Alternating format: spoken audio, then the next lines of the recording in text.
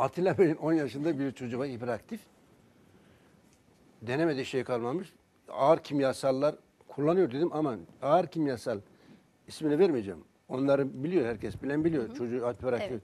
Onları kullandığı zaman Allah korusun hem zihinsel gelişimi hem bedensel gelişimi Evet. biter.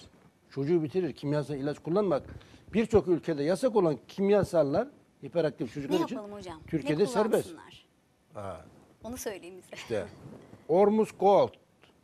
Ormus Gold Türkiye'de bu Evet. ilk üreticisi Gökçek. Ormus Gold. Orm Angstrom Gold. Efendim. Sarı kantaron. Sakinleştirir, relax. Rahatlatır. Tamam, bunları sizden alabilirler değil mi hocam? Elbette.